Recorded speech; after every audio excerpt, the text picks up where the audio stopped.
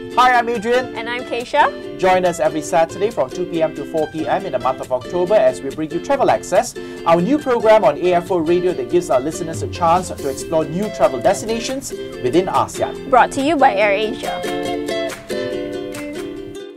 Welcome back. You're listening to Travel Xcess with me, Adrian, and uh, Keisha is also in the studio. Uh, we are talking about Goa, India, because this is the next travel destination that we're going to go to in uh, 2016, sometime in February after Chinese New Year, mm-hmm. because uh, it's apparently the perfect time to be in Goa. So we've been talking about Goa, India the whole time, Akesha, you and I. Uh, we, we need to go there after Chinese New Year because yes. we have to celebrate. I need to celebrate Chinese New Year, okay. and that is uh, I think in the first week of February. And after that, we can uh, take a flight.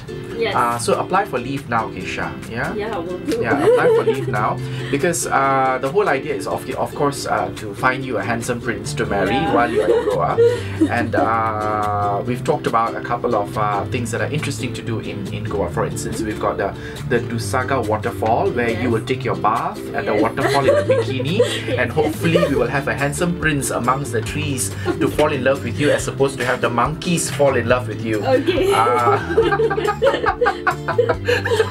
so in the studio is our special guest, Linda Fernandez. Hello, Linda. How are you? Hi, I'm fine.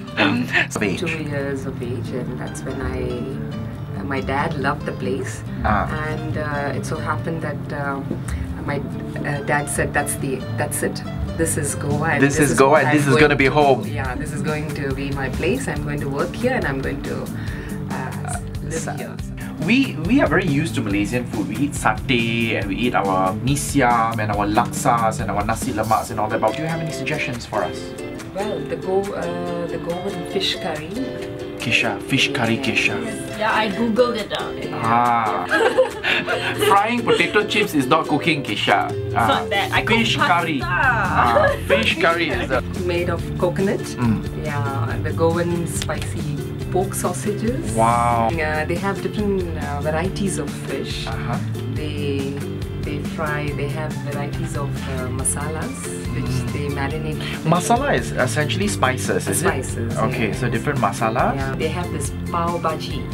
Pao bhaji. Is It's like a pao, the bread. The bread. Uh, okay. Stuffed with um, stuffed with potatoes and uh, fish we need to go because I think Goa is also famous for their beach fronts, their beach parties and beautiful yes. resorts, isn't it? In Goa, huh, Linda? Got very beautiful resorts. And you you used to live near near a beach as well, isn't it? Yeah, beach. Um, it's also suitable for sunset watching. So romantic, Isha. When you kiss the monkey and it becomes a frog, you bring this frog there, and then you kiss the frog again, and hopefully he'll turn into a prince that you can marry. It's an occasion where Goan farmers manifest joy and happiness. Mm -hmm. It reflects rich tradition and culture of Goa. It includes singing, dancing, drinking, feasting. And uh, the streets are decorated with colors and floats. Oh wow. Yeah. Ah, Keisha, mm. this is the place that you need to go and live.